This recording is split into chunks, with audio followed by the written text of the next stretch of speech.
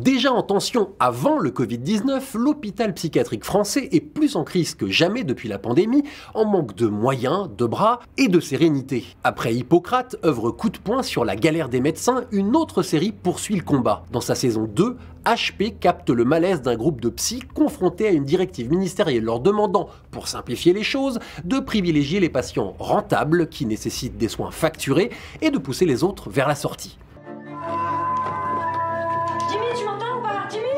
Quand on fait grève dans un HP parce que les patients se suicident. Vous êtes complètement inconsciente ou quoi? Comment on fait croire à quelqu'un qu'on a paradis?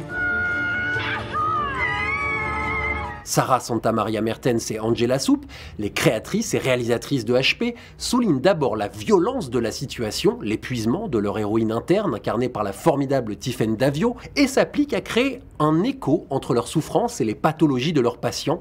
Un d'entre eux est par exemple convaincu d'être au purgatoire. HP n'oublie pas pour autant sa particularité, profiter des troubles de ces mêmes patients pour insuffler une note de poésie, pour créer un décalage salvateur et ici ou là une touche d'humour. Série à petit budget et aux épisodes courts, elle fait preuve d'une forme de fragilité, mais qui contribue à son charme et nous pousse à attendre de pied ferme une possible troisième saison, conclusion des années d'apprentissage de son héroïne. HP saison 2, c'est sur OCS et MyCanal.